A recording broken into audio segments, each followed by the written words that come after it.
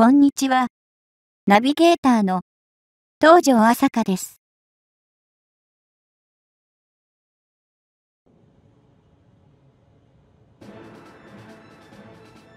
世界ではコロナ対策が急務となり、米原子力空母が現状運用停止状態となり、潜水艦での感染も出てきている。潜水艦など密閉空間ではウイルスだけではなく、インフルエンザなど感染症にも気を使っている状況だ。潜水艦での生活空間は、ベッド1畳だけのプライベート空間があるだけ。それも寝転がる感じだ。何人もの海自体員が生活している。潜水艦での広がりは一気に拡大する。それにしても中国は人だけは大勢いるので、そんな状況下でも関係ないだろう。現在、米原子力空母が機能停止状態で台湾海峡から仕掛けてきているのも事実だ。台湾をどう防衛できるのかも気がかりとなる。中国といえばあの、初建造の強襲揚陸艦が火事となり、最悪のシナリオとなっている初の強襲揚陸艦デストベル機でも、運用するのだろうか？疑問だ。火事で思い出したが、豪州の潜水艦計画ももう白紙か。そこまでではないのだが、進んでいないことが分かった。では、豪州で建造するはずのアタック級潜水艦の話をしていこう。では、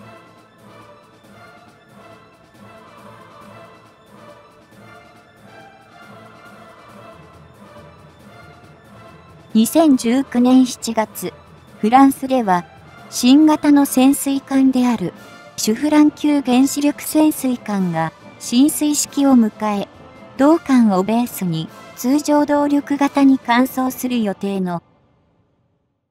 オーストラリアのアタック級潜水艦にもようやく進展が見られそうだ。それでも当初のスケジュールよりも遅れが生じているこのアタック級潜水艦計画は合計で12隻の建造が予定されているとはいうものの、今や1隻5000億円を超える費用となっており、実現が危ぶまれている。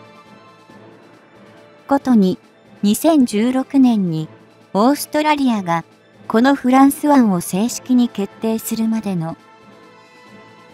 過程において日本の武器輸出のハードルが下がった。時期とも合致したため、初の武器輸出なるかと注目を浴びてた。案件でもある。今でも一部に日本の逆転採用かと懸念する。報道もあるようだが、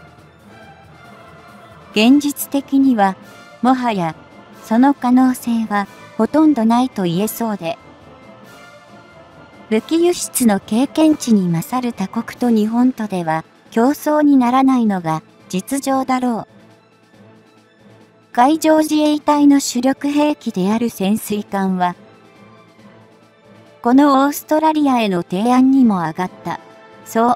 夕方がこのところ、毎年一隻ずつのペースで建造されており、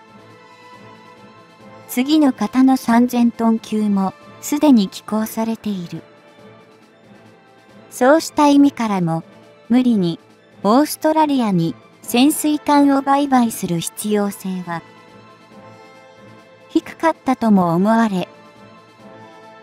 果たして日本に決定していたら今頃どうなっていたのかとむしろ、そちらの方を思うと冷や汗ものだったのではと感じる。そもそもフランスは押しも押されもせぬ武器輸出大国であり、NATO の主要な加盟国でありながらも、伝統的に独自の兵器生産を維持しており、エジプトをはじめ、インドなどにも多数の輸出実績を持つ。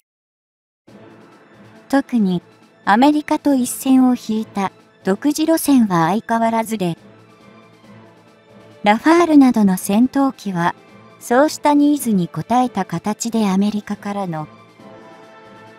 輸入が困難だったり、高額だったりとされる国に導入されている。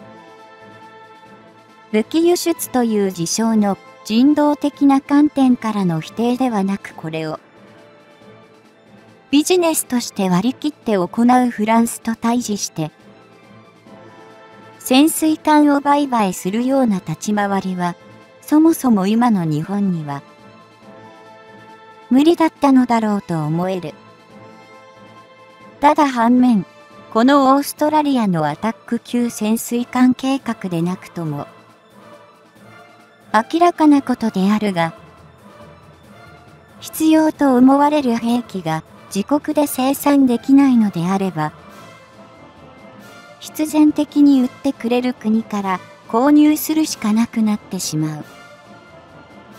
日本の場合、潜水艦や護衛艦などの艦艇は、まだ自国で建造しているものの、次期戦闘機開発計画は存在しているとはいえ、戦闘機の分野では、もはや自国製造は厳しいのではないかと感じられる。いや、すでに護衛艦の並走などを含めると、そのほとんどを日本はアメリカに依存している状態であり、オーストラリアの現状を見て他人事だととやり過ごすことは、できないのではないかと思える。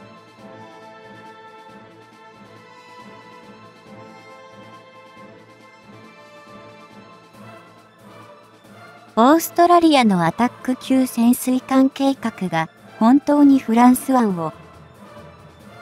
キャンセルするのかどうかは不明と言えるが、仮にキャンセルした場合の選択肢はドイツからの輸入しかないのではなかろうか。折しも2020年4月にはインドネシアが韓国からの潜水艦の調達計画を中止してトルコからの調達に切り替えるのではないかという。ニュースも伝えられている。興味深いのは、ここでトルコが用意する潜水艦も、もともと韓国と契約を交わしていた潜水艦も、大本は両者ともドイツの潜水艦にたどり着くという点ではないだろうかトルコは韓国と異なり、燃料電池式の非待機依存型機関を搭載した。潜水艦を他国へ輸出用途で生産することも認められており、このライセンス生産分にインドネシアが傾いている様子だ。もし、これが現実となれば、インドネシアの行為が国際的な審議場から非難を受けることは、間違いなさそうだが、相手国が韓国ということもあり、ある意味、日本などでは多めに見られる傾向が強いようだ。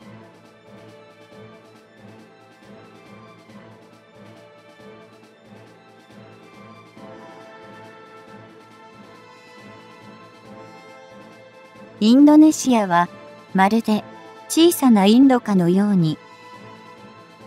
西側からも東側からも各種の兵器を購入しているが、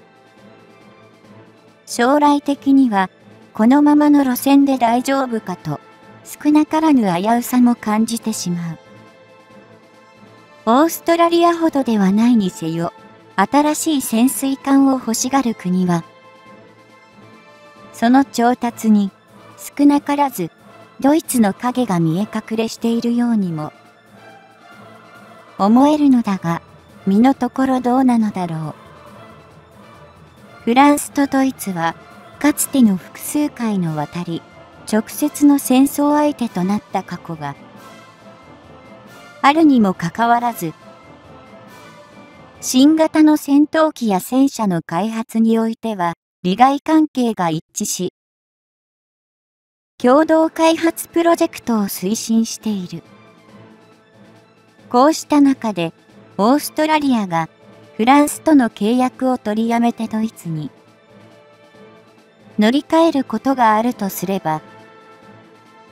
フランスとドイツの関係性に与える影響がどうなるのか、そちらも気になる部分だと言えそうだ。オーストラリアのアタック級潜水艦計画が本当に通常動力型潜水艦として収益するのか、ちょっと常識の範囲を超えている調達価格に